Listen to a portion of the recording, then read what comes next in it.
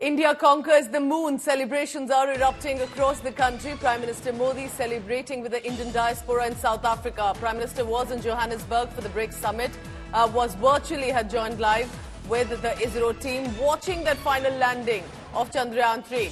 And uh, after that successful venture, of course, Prime Minister took to social media to put out a statement.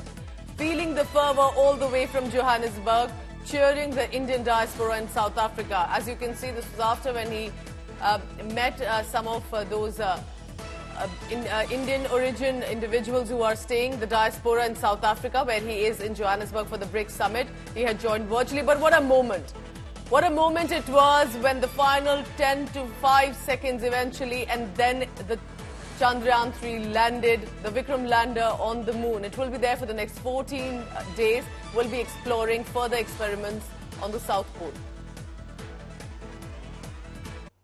But sadly, amid all of this glory that India has achieved, there is a political credit war that has uh, erupted between the Congress party and the Bharatiya Janata Party over the advancement in the country's space technology during their respective tenures. So while most of the leaders celebrated the achievement, first the Congress said it was Jawaharlal Nehru, a first prime minister who laid the foundation stone of space science, which is now world famous. Congress uh, put out a statement and mentioned that Jawaharlal Nehru's scientific outlook and vision laid the foundation of Indian space research and Chandrayaan 3's success today is because of the early efforts that were put in.